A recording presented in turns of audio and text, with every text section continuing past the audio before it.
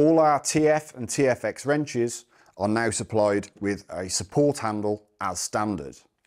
Now, many of the issues seen in the industry with these handles is that the handles are fixed and are problematic for the operator when, when moving around the application.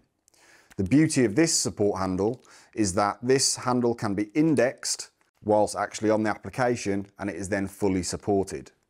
There is 12 indexing points that the user can use at his own convenience. You can actually change the position of the handle as well. So you have it here on the side of the housing and you can change it to the front. On the TFX wrench, you have positions at the top of each housing, on the side, and also on the power head. So depending on the application, this can be moved easily to the user's convenience.